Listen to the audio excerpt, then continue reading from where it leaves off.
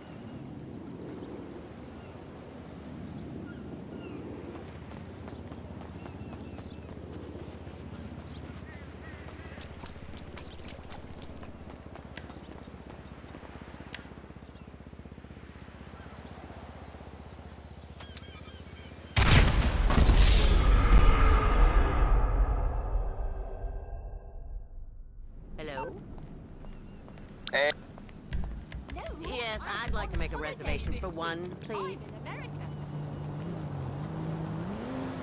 Uh, I saw Yes, on the internet you crazy, said it was all you can Los eat. Santos. You have to come. It's nuts. Now, just to warn you,